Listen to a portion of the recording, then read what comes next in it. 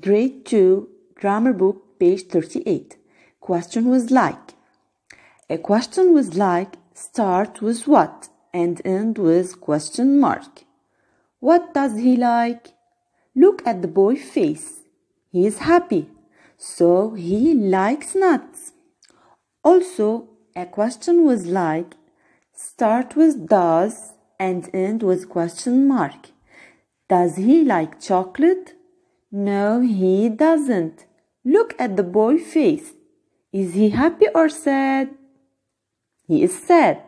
So does he like chocolate? No, he doesn't. We use does with like to make question with he and she and it. What does he like?